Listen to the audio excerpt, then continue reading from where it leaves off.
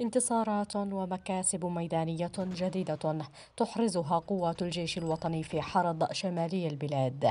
قوات الجيش تحرر في عملية خاطفة صباح أمس الأربعاء سلسلة جبال الهيجة الواقعة شرق معسكر المحصام.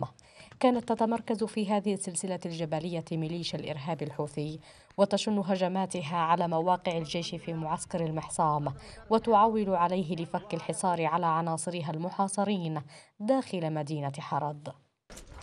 تمتد سلسلة جبال الهيجة من جنوب غرب مدينة حرض إلى شرق معسكر المحصام ويبلغ طولها ما يقارب من خمسة كيلومترا.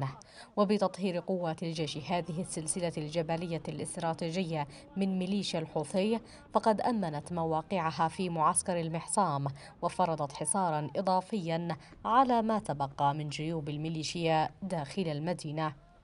معارك ضارية تخوضها قوات الجيش الوطني بالمنطقة العسكرية الخامسة لليوم السابع على التوالي ضد الميليشيا داخل أحياء المدينة والجبال المحيطة بها.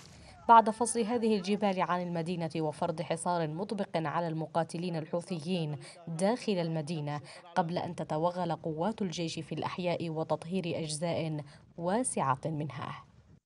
صفعة غير متوقعة جعلت قادة ميليشيا الحوثية الإرهابية تعلن النفير في محافظة حجة والمحافظات المجاورة لها لتحشيد مقاتلين جدد بكل وسائل الترغيب والترهيب إلى الجبهة لفك الحصار عن عناصرها وقياداتها المحاصرين داخل المدينة.